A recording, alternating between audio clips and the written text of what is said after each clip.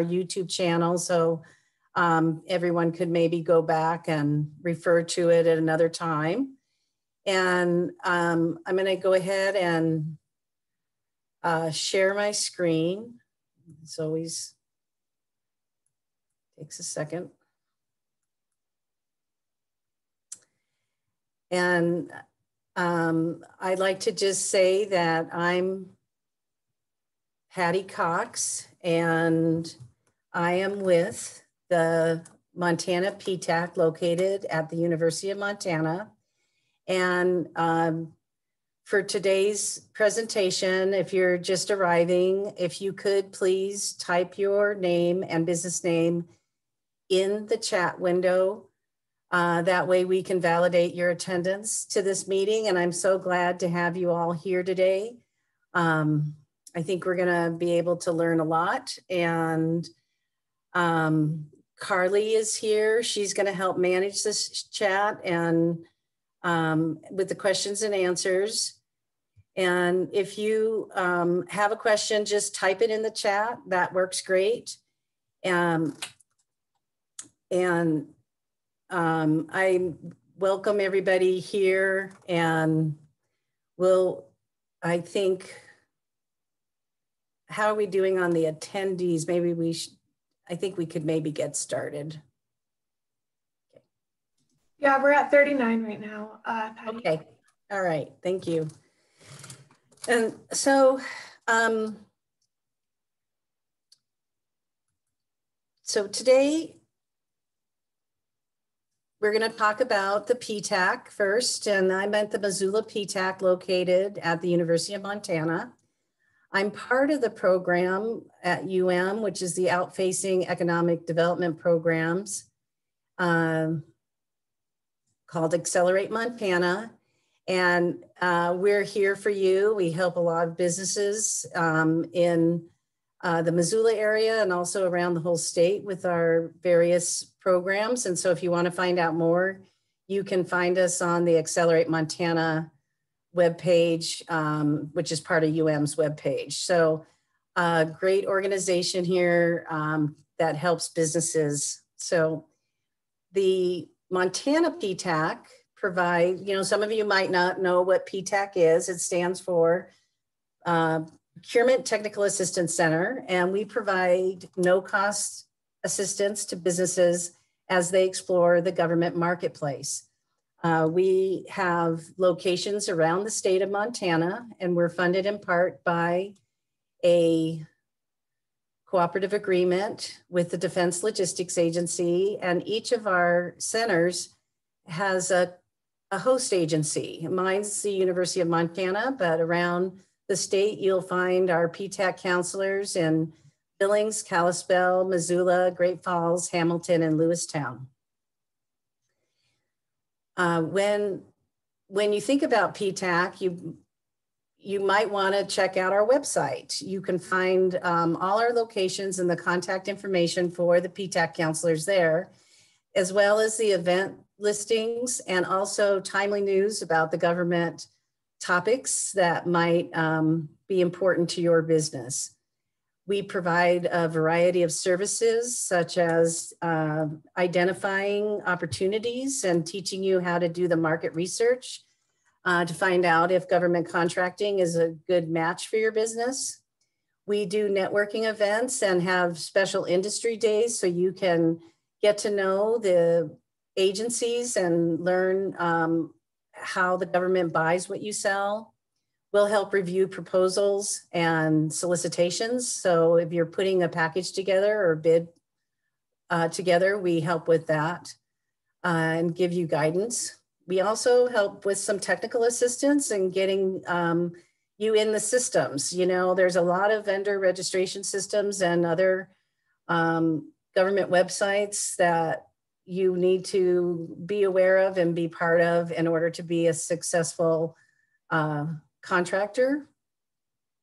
And we also help with some hands-on um, assistance with small business certifications. And that's what we're gonna talk about today is the woman-owned small business uh, program. The Women-Owned Small Business federal contract program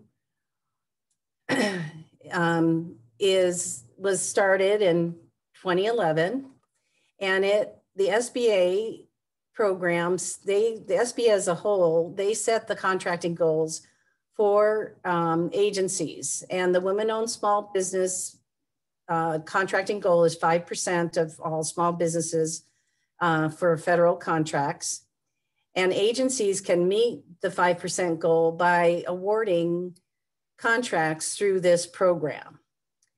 Um, the program allows contracting officers to set aside contracts for women owned small businesses or economically disadvantaged women owned small businesses that meet or fall under eligible NAICS codes. And NAICS stands for North American Industry Classification System code.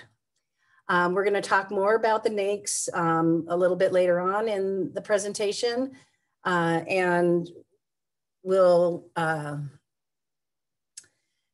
go on now here, tell a little bit about how the program's changed. So I like to tell the history. So this program started a while back, but in 2015, Congress updated the rules and those were finalized last May. Um, when that happened, uh, prior to July 15th, 2020, uh, the SBA and the government allowed self-certification process for women-owned small businesses. And they also allowed um, certifications that came from approved third-party certifiers. Um, businesses were allowed to continue to self-certify until October of 2020 but now um, the new rules are in full force and the program has gone to a fully vetted certification process. Patty, um, there's a quick question. Um, someone would like to get the website from the, the previous slide. I think it might be two slides ago now. Oh, I can, I'll paste that in the chat. Okay, that'd be great, thank you. And um, I'm also going to email the slideshow to all the participants that joined um, today. So you would be able to um, see those um, kind of any of the links and so on in that. So now I need to find the chat. People have a link to your YouTube channel available. Um, I'll, um, yes, I can provide that. Let me, um, it's hard to get to the chat right now. Let's see what, let's see. I'm gonna pause the share and see if I can get to the chat. Bear with me.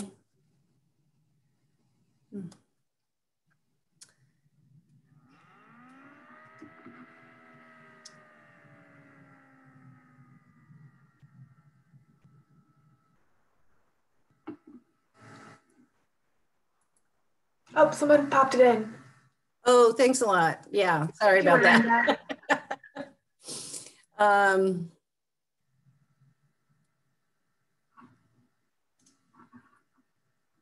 all right, so I, I apologize for that. I'm not a pro at Zoom. I you think after all these months of being off off the grid in your own little living room working, you would um, have that all all these things um, figured out. So, all right, let's, so let's go back. We're gonna go back to here. And then um, if there's more things we need to add to the chat, uh, we can get those in there.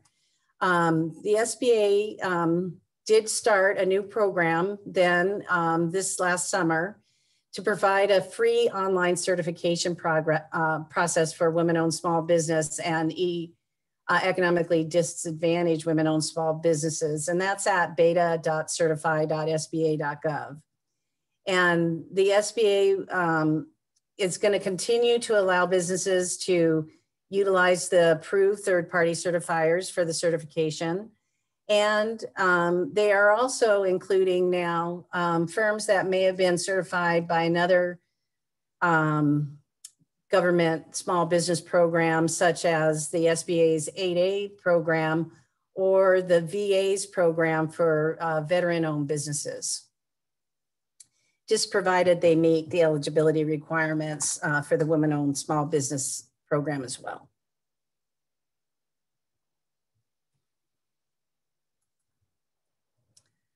So um, we talked a little bit about the third-party certifiers and um, on the SBA site and linked here are the ones that are uh, qualified to do this certification for the SBA and they're approved. Um, but I like to note that all these certifiers do charge fees and it's both for the initial certification process and for annual renewals.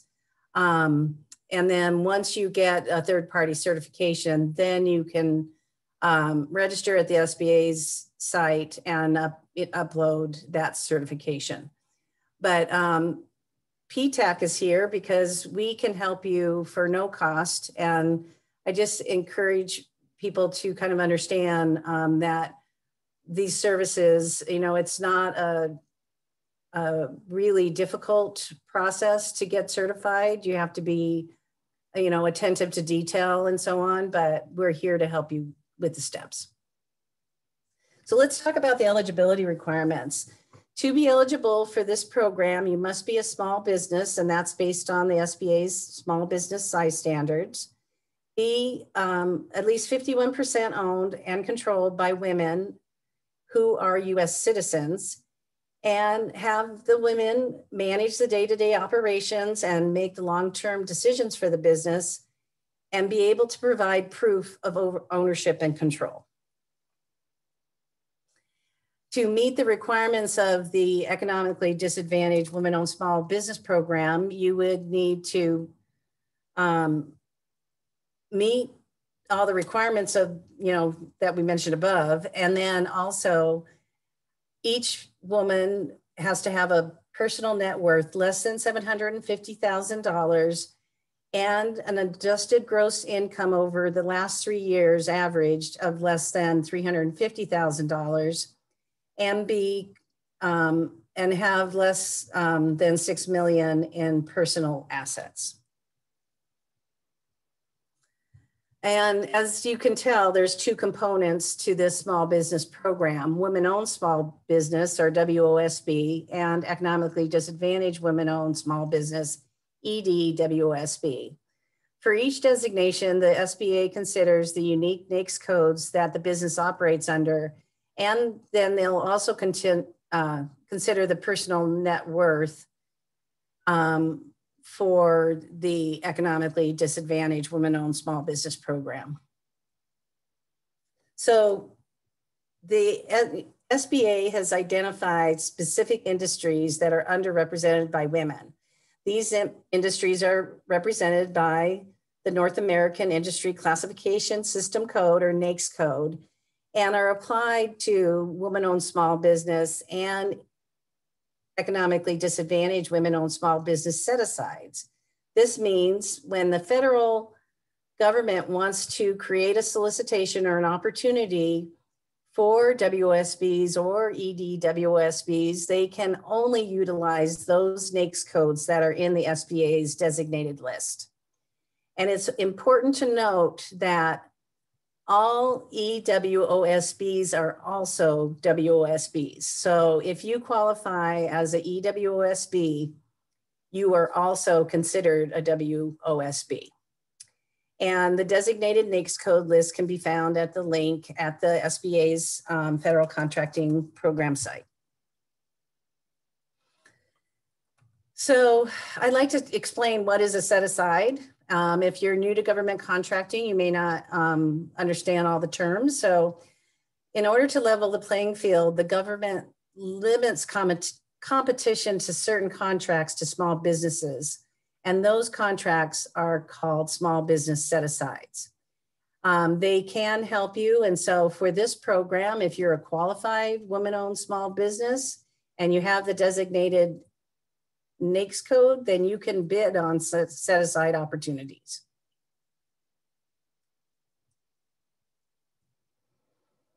So you may want to be thinking about what path to take. and how you would consider should you be an economically disadvantaged women-owned small business or a WSB. What I have found is that many of our Montana businesses do qualify for the financial criteria of the EDWSB program. And so if you qualify for it, it can be helpful because all EDWSBs are also women-owned small businesses. So um, you want to learn what NAICS code does your business operate under, and are they designated as EDWSB or WSB? So for example, if all your NAICS codes fall under WSB only, it may be just worth it to apply for WSB and not worry about doing the extra financial steps for the application to become an EDWSB. Um, then you want to learn, do the business owners, the women owners, meet the financial criteria that's set forth for the eligibility of EDWSB. Because if they do, um, if you meet that criteria, but under, you know, only operate under woman-owned small business NAICS code, you can still apply for the EWOSB certification and be eligible for set-asides that are only assigned to the NAICS codes that are for WSBs. All right. I know that's a lot of acronyms. It wouldn't be government contracting without acronyms, I'm telling you. Quick question for you on the income.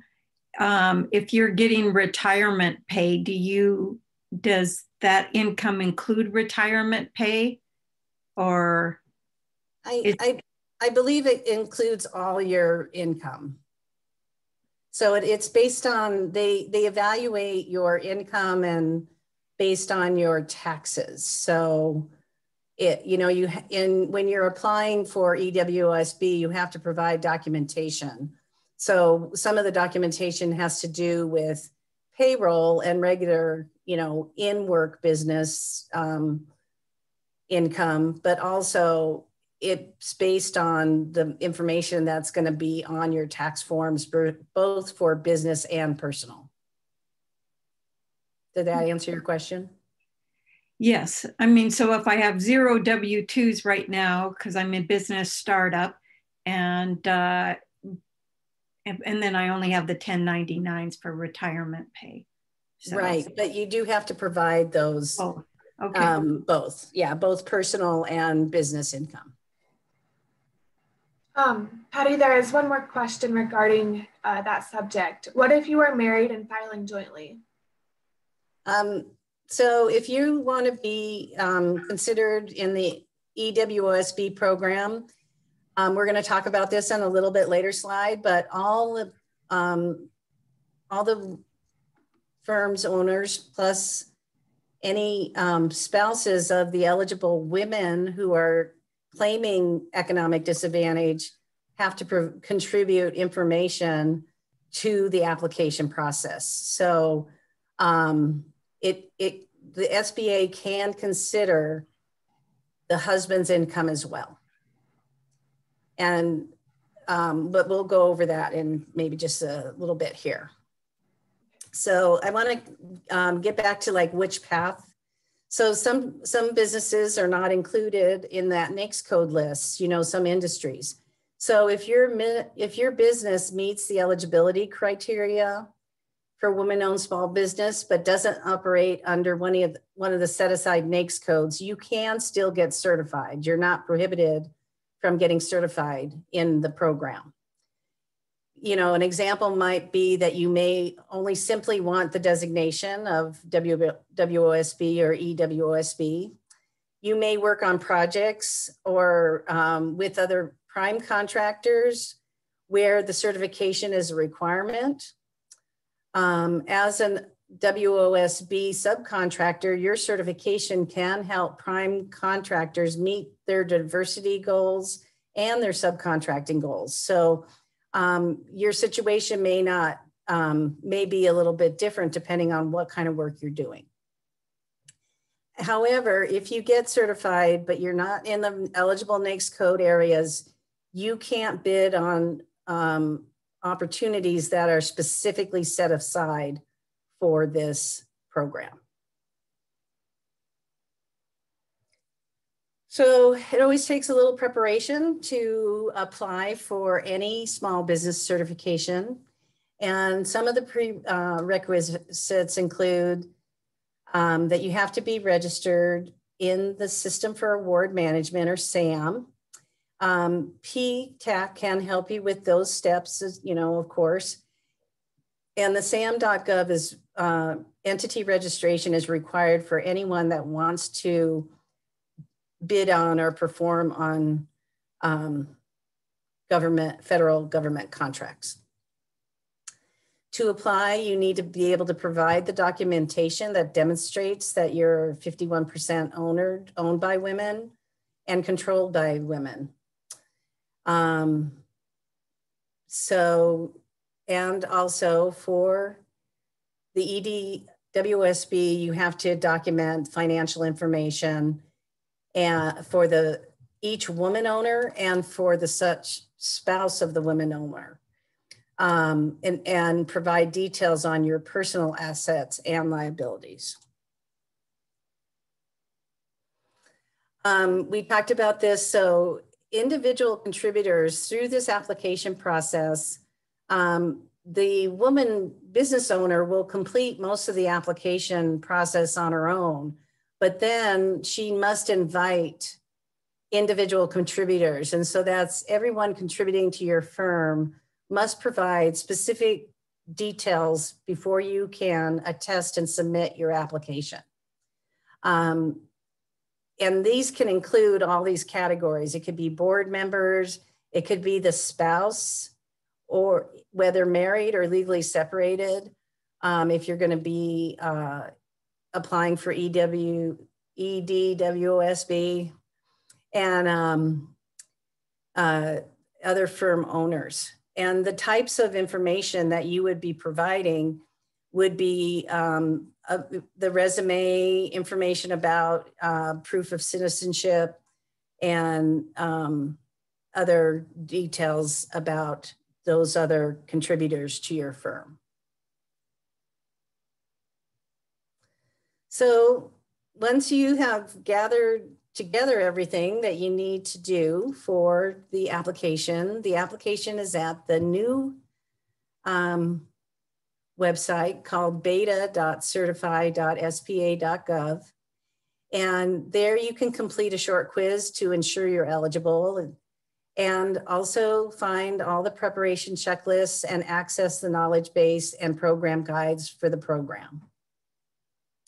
And this, um, you know, in the old system before July of 2020, the self certification website was just called certify.sba.gov. So don't get the two mixed up because they're completely separate. And this is the only place where you can certify for the Women Owned Small Business Program.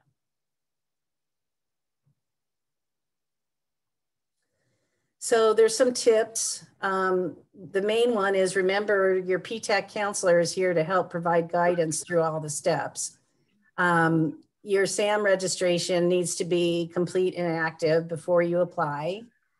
You have to have all your documentation in electronic format before you begin, and it has to be um, correctly named um, just can't have like a blank name on it or a number of something that you scanned in.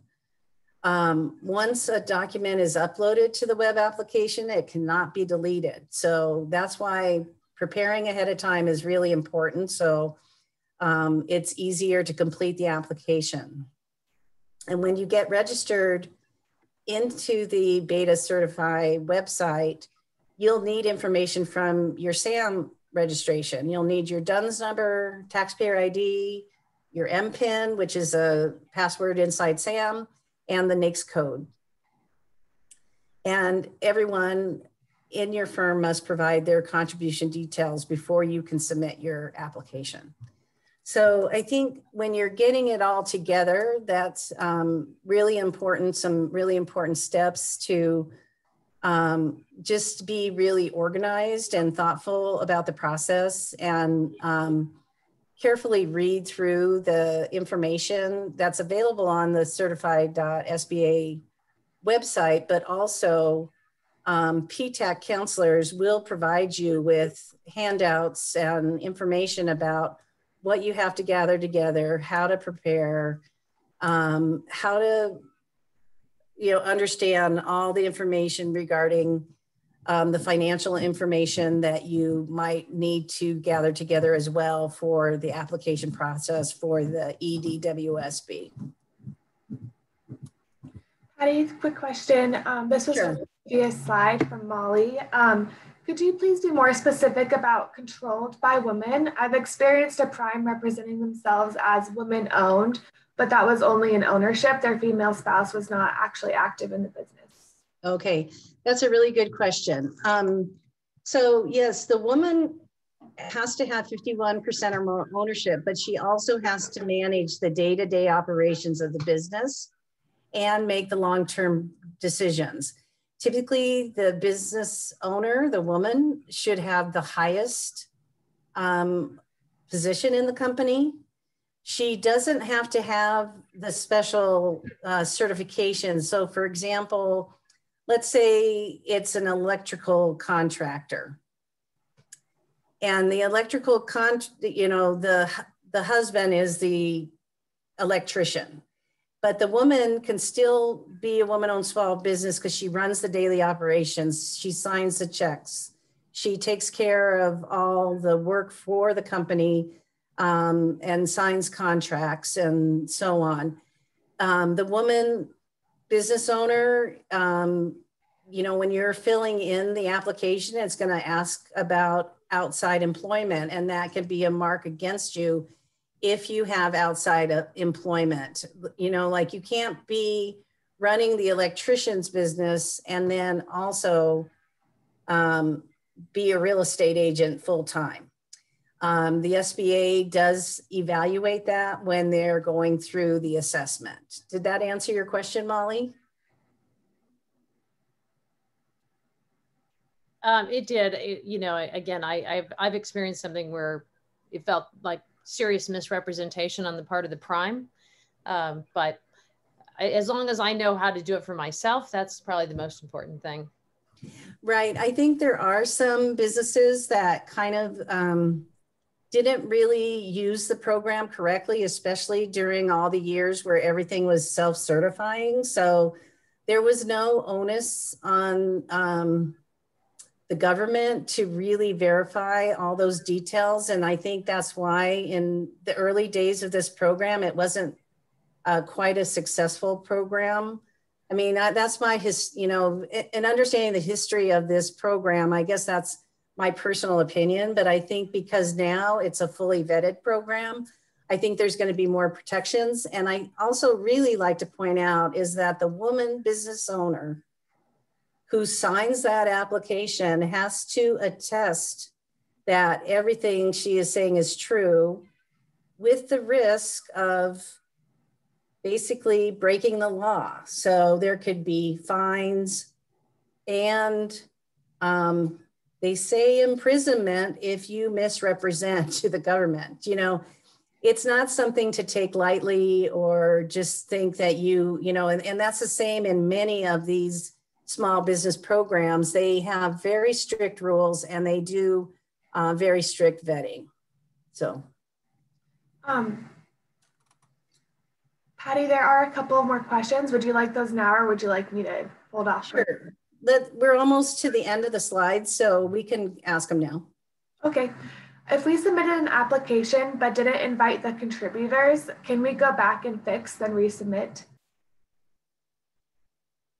Um, if, well, you know, there's a lot about the process of the application um, analysis that is not always super um, clear to those that are outside the system because it's a brand new um, program and a brand new um, web application.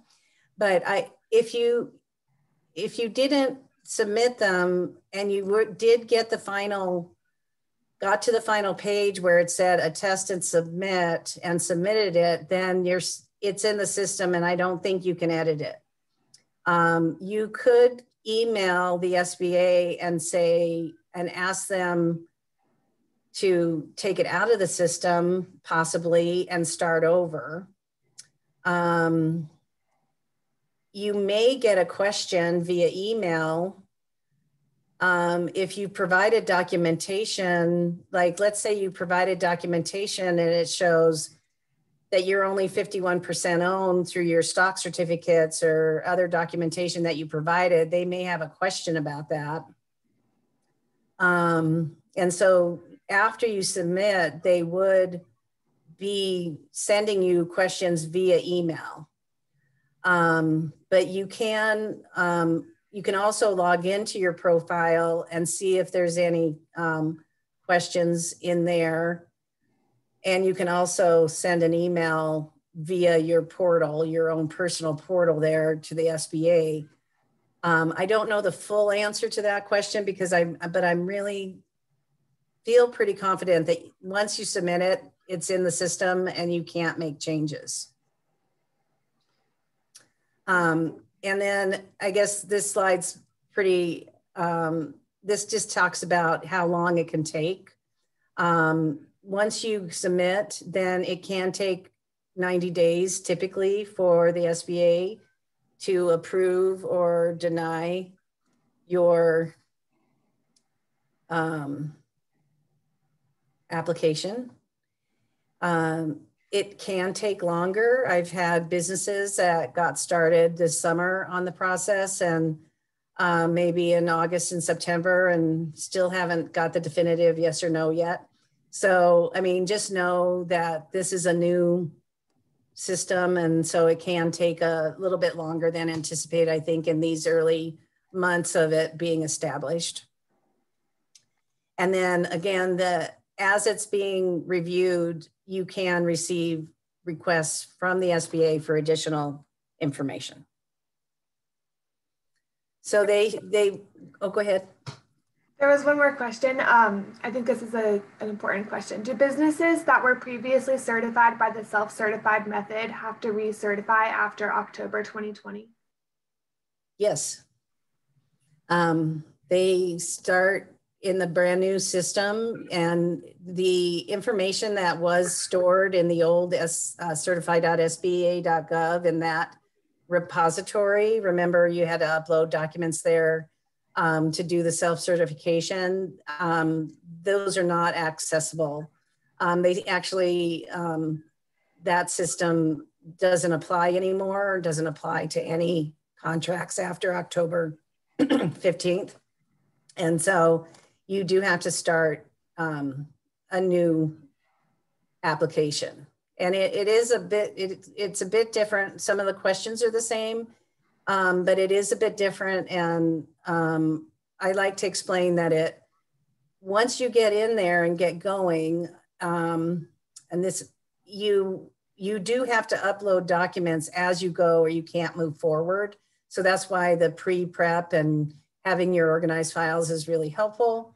And then also you, and the other one positive is that you don't have to finish it all in one sitting. It can take a while to complete all the sections, especially if you're going to do the EDWOSB. It has more um,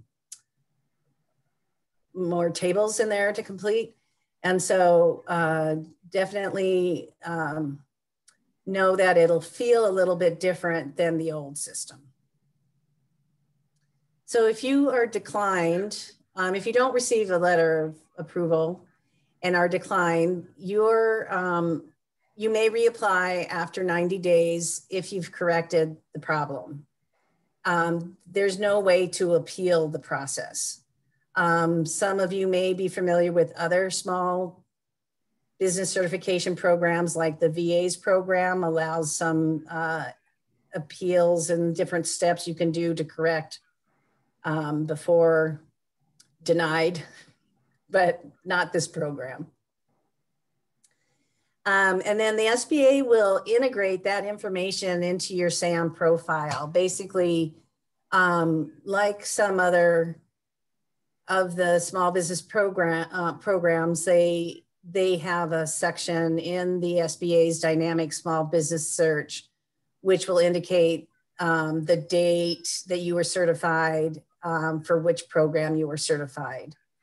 And uh, so in the past, the contracting officers used to have to request information from you in the self-certification program, but that doesn't apply anymore. They'll be able to look it up. We have just a couple, we have a couple more questions that popped up Great. in the chat. Um, we will need to provide, will we need to provide tax returns for the year 2020 if we are trying to submit for the EDWOSB soon? It's the previous three years. So um, if you haven't done your taxes for 2020, um, you don't have to submit those.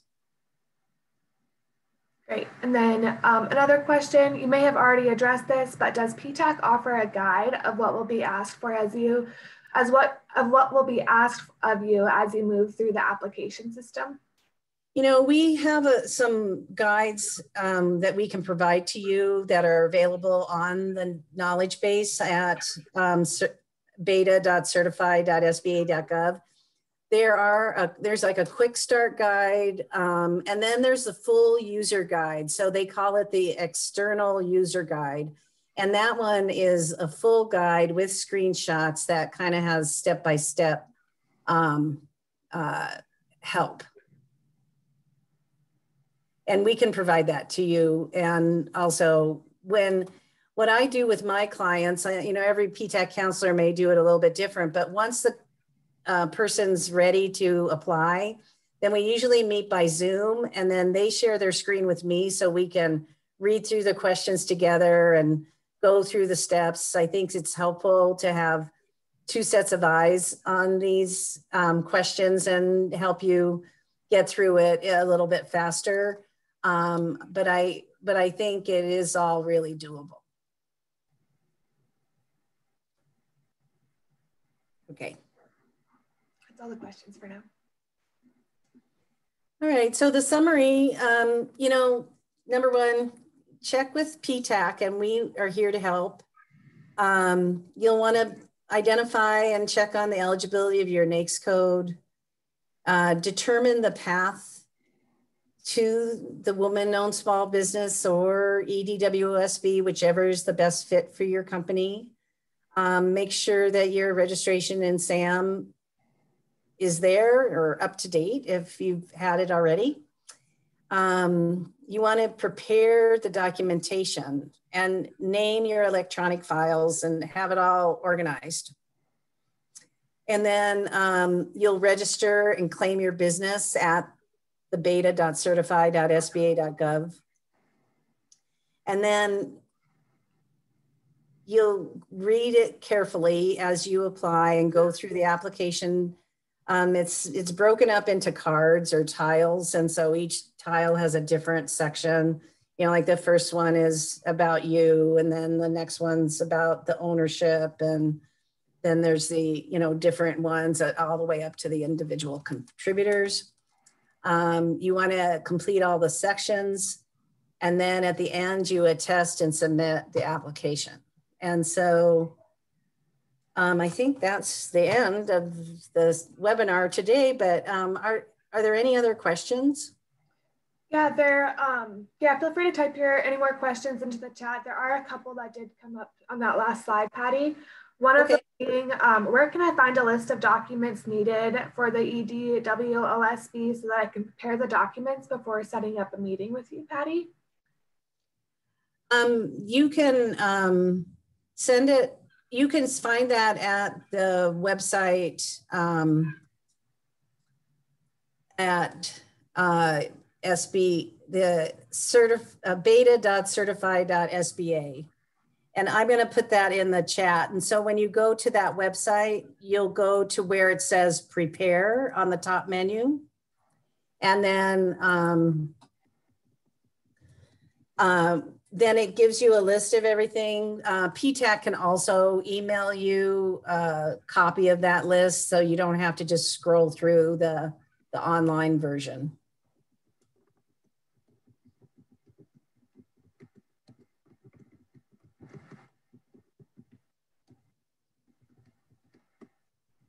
Um, are there any additional questions or anything else you might have for uh, PTAC? There's one more here. Um, will we need to provide 1099s for unemployment claims if we had them in the past three years?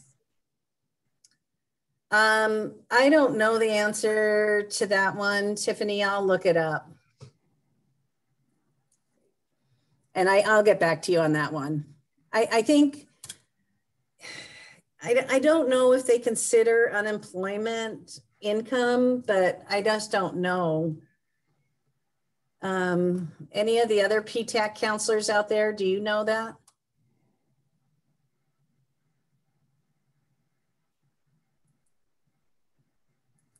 Okay. It's silence. well, this is John with the Hamilton PTAC. Uh, I doubt that it would, you know, be an amount of money that would put you over any of the thresholds for an EDWOSB. Um, so anyway, that's just I, I, would imagine that you, you know you're providing your econ, your uh, tax return, so it'll probably be a, if it's listed on there, it'll be listed. Yeah, I agree, John. I think that it's probably better to gather up more information than less, so that you can either um, sometimes even in these systems, um, there you need to provide a letter of explanation. So, like, let's say you're a person you're you didn't have a tax return for a certain year because you didn't work or you know maybe only your spouse worked or something like that for your family. There was some change with your family.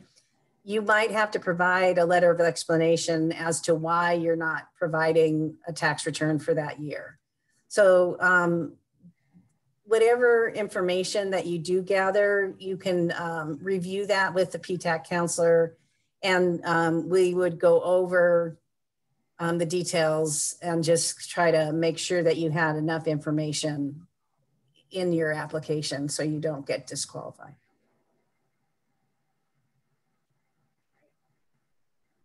Um, there's another question from Wendy. Would you review individual contributors? Oh yeah, we I would help you with with all the steps, and that's a part of the process. And so, um, you know, there are um, definitely uh, federal um, federal acquisition regulations and um, codes that apply to this program, and so a PTAC counselor can help review and make sense if if you're if you're not sure about anything with the program, we can help you with that. So um, yeah, everyone that needs to provide information, we can assist you with that. Another question just popped up from Jordan. Um, if I have 51% shares, but my husband and I equally share the workload, would that disqualify me, would disqualify me from being a WOSB?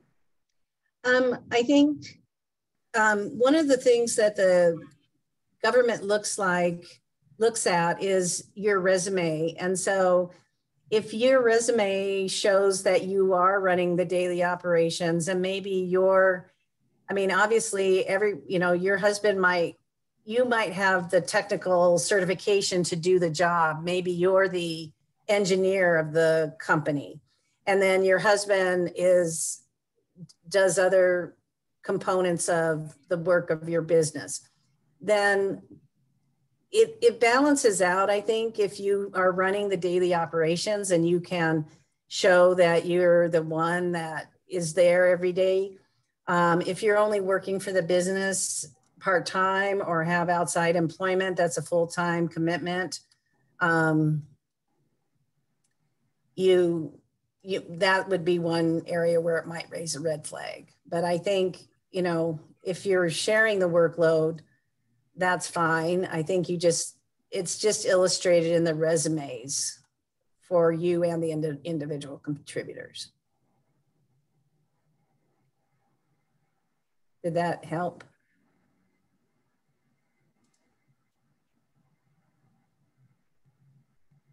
Yes, thank you. Okay. Anything else popping up? People, are you? Um, One more reminder, um, if you haven't already, please drop your name and business name in the chat so we can track participants. I really appreciate everybody joining and being part of this webinar. We will, um, let me uh, grab the YouTube channel really quick, the web um, address for that and put that in there.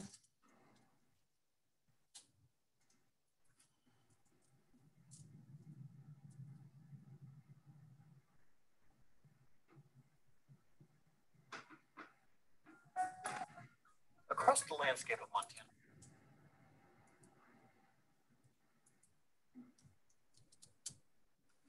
And then um, when I, I'm going to send a, a, uh,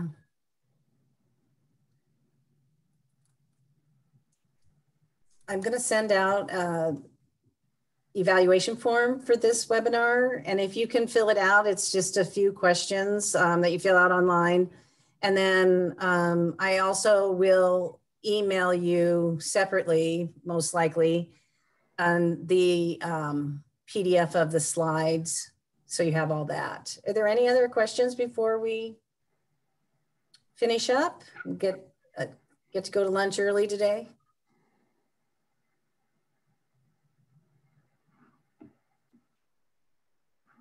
All right, everyone. Thank you so much for joining and thanks Carly and um, all the PTAC uh, participants that joined in too. Appreciate you being here today.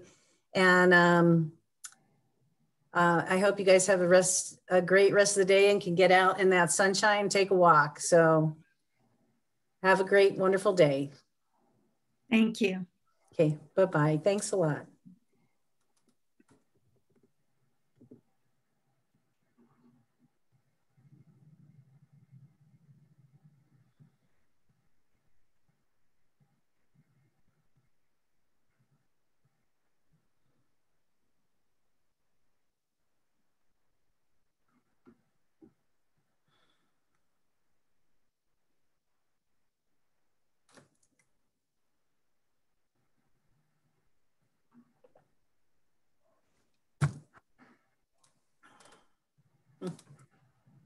Go ahead and stop the recording. Uh, Okay.